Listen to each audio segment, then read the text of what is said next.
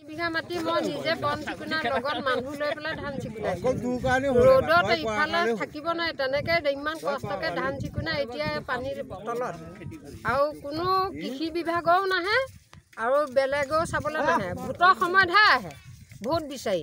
এইবাৰ পৰা ভোট বিচাৰি অহাকেইটা কেইজনেও পাব আৰু ভোটো নিদিওঁ আৰু কৃষি ধনো নালাগে। আমি চৰকাৰৰ ওচৰত কি আবেদন নিবেদন কৰিম সেইখিনিতো আমি কোনো উপায়েই পোৱা নাই। আৰু তাৰ মাজতে এতিয়া আমাৰ ছশ বিঘা প্ৰায় পাঁচশ ছশ বিঘা মাটি বড়ো ধান গুচি যোৱাৰ পিছত ব্যক্তিগতভাৱে মোৰতো মোৰ ছবিঘা মাটি ধান আছিলে সেই ধানটো সম্পূৰ্ণ এতিয়া গ'ল এতিয়া পানীৰ তলত। আৰু মোৰ দুবিঘা মাটি ধান আছে কিন্তু এই পানীটোৱে সেই ধানখিনিও যে নুচুব কোনো মানে নাই। আজি প্ৰায় সন্ধিয়ালৈ সেইখিনি ধানো যাবগৈ বুলি আমি ধৰি লৈছোঁ। আৰু এতিয়া আপোনালোকক আমাৰ ফালৰ পৰানো কি ক'ম? আমি আৰু একেবাৰে দুখী দুখী অৱস্থাৰে কৃষক পৰিয়ালটোৱে পৰিয়ালটো কেনেকৈ অহা বৰ্ষতো পোহপালন দি আমি ডাঙৰ দীঘল কৰিম বা পৰিয়ালটো আগবঢ়াই দিম তাৰে আমাৰ বৃহৎ চিন্তা আহিল। আৰু তাৰ মাজতে আমি কৃষি বিভাগৰ কোনো ব্যক্তিক আমি ইয়াত লগ পোৱা নাই।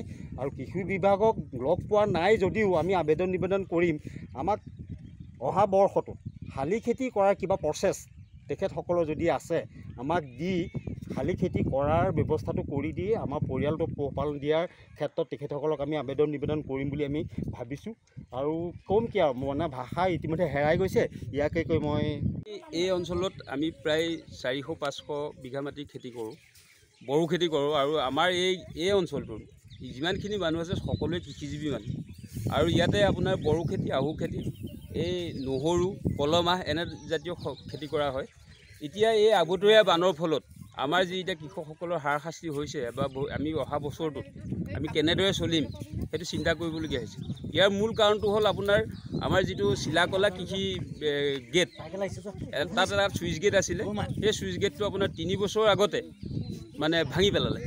আমি বিভাগীয় আপোনাৰ এইটো জলসিঞ্চন বিভাগ জলসিঞ্চন কাৰিকৰী বিভাগক আমি জনাইছিলোঁ যে এই গেটখন পুনৰ নিৰ্মাণ কৰি দিয়ক। কিন্তু তেখেতসকলে আজিলৈকে কোনো ব্যৱস্থা নকৰিলে। আৰু দ্বিতীয় কথাটো হ'ল কি আমাৰ এই যেতিয়া এই গেটখন ভাগে সেই সময়ত আমাৰ ইয়াত চি এম আছিল।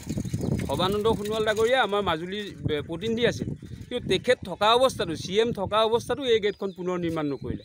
এতিয়া নতুনকৈ এজন বিধায়ক আহিছে তেখেতৰ যদি সুদৃষ্টি পৰে অঞ্চলটোত আমি আশা ৰাখিছোঁ তেখেতে সুদৃষ্টি দিয়ক আৰু সেই গেটখন পুনৰ নিৰ্মাণ কৰা আমি কামনা কৰিছোঁ।